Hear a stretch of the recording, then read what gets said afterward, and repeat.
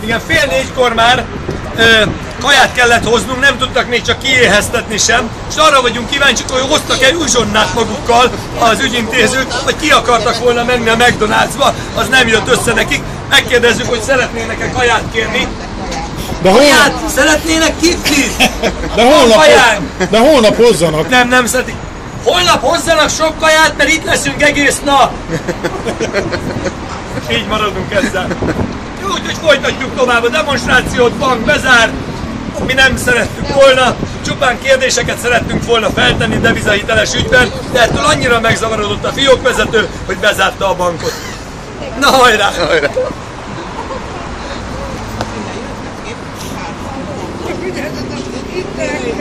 Thank you.